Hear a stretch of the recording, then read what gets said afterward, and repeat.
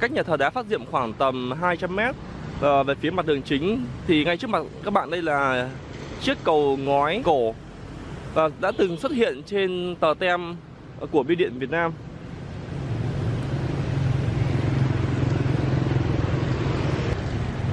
Chiếc cầu ngói này được xây vào năm 1902. Cầu có chiều dài khoảng tầm 36 m và rộng 3 m.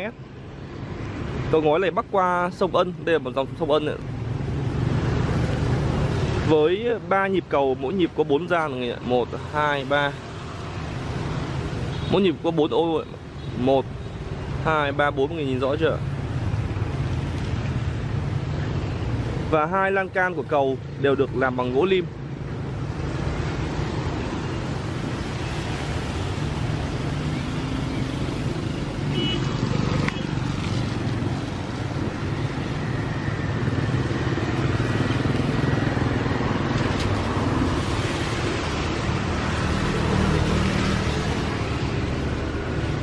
Hiện phần mái ngói che lập uh, ờ, thì được làm bằng ờ, ngói đỏ truyền thống mới được uh, trùng tu cải tạo lại các bạn.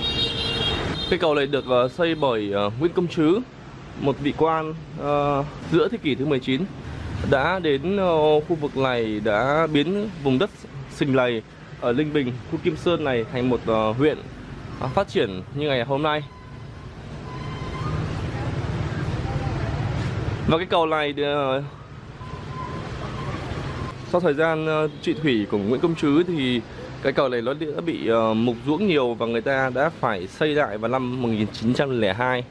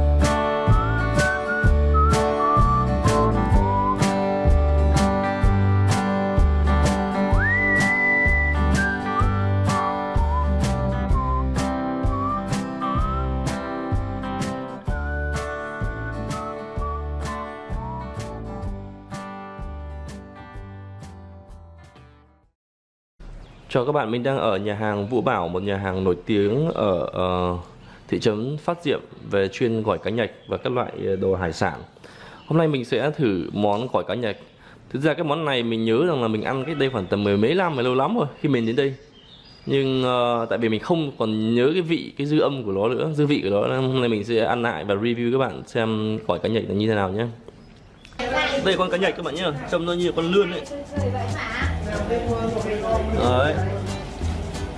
Ơn này đang há mồm ra thỏ rồi Cái này nó có cắn không?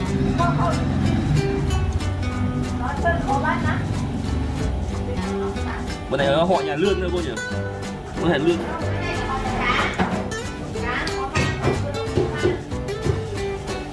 Cái nhạch các bạn Trong nó phải dài, con này phải dài tầm 5-60 phân 70 phân mọi người có thể nhìn thấy ở trong một cái suất phục vụ của cái nhạch tây mình. Ở đây có một cái bánh đa nướng này.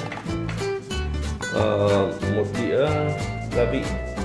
Bao gồm uh, có hành tươi này có xả ớt muối và gừng thái hình vuông.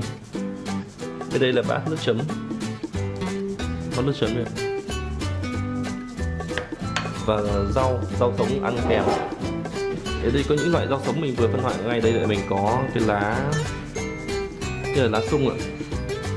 Thứ hai là rau rau ngổ hay rau ở trong miền Trung gọi là rau ngò đấy. Và lá mơ mơ ăn không phải mơ chó nữa nhé. Đây là húng quế húng Hà Nội.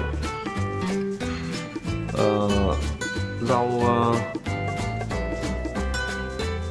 uh, hương nhu. Cái lá này giống như lá hương nhu mình nhớ là cái cái cây hương hương nhu này là uh, mình nhớ hồi nhỏ là là các cụ uh, ngày xưa trồng là nó làm ở bờ rào rồi. Còn đây là cây uh, vọng cát cây vọng cát hay vọng cách gì ấy chắc cái cây này cái cây ở khu vực này hoặc khu vực uh, lui xuống các tỉnh uh, miền Trung thì mới có mình chưa chưa trông cái cây này bao giờ. Cây vọng cách ấy. ok. Và đây là đĩa gọi cá nhật đĩa gọi cá nhật đây trong ừ, đây họ có trộn với ờ, thính.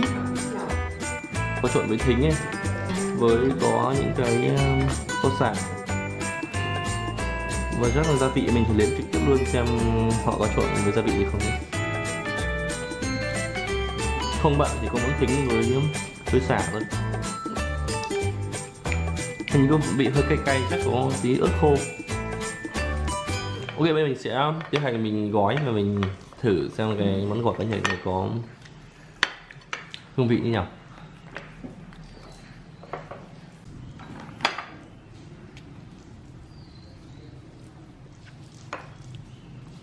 Cái nước sốt này mình sẽ thử xem nước sốt này nó có vị gì các bạn nhé.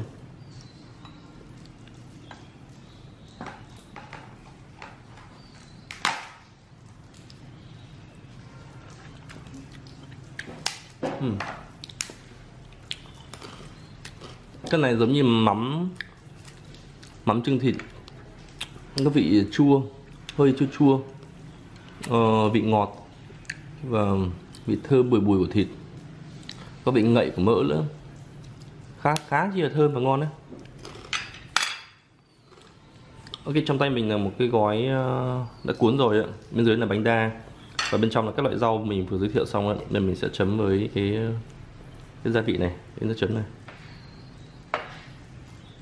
oh wow. À mm. Ừ, ngon lắm.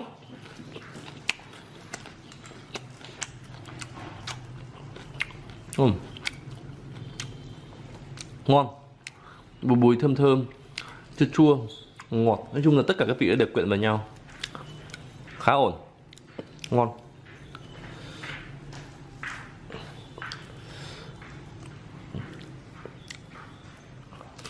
Ừ.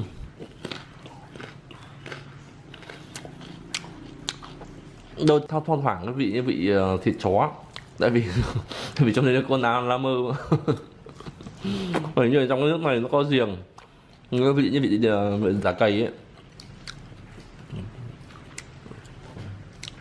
Hóa ra là cái này cái này nó không phải gừng các bạn cái này là giềng. Là mình thấy cái vị giềng là vị lá mơ. Ăn vào có vị uh, đâu đâu vị thịt chó vì giả cầy. Lúc này ăn khá gì ngon. Ngon lắm mình thử uh, ăn cái mắm này không hay người nhỉ oh. uhm.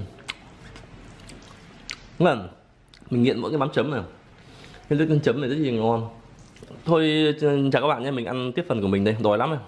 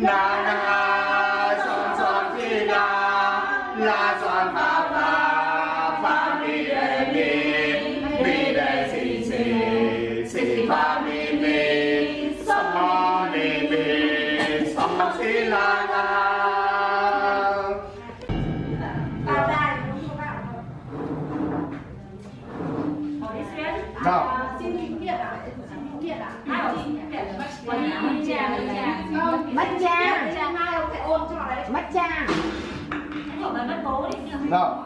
Đi là là Hai Một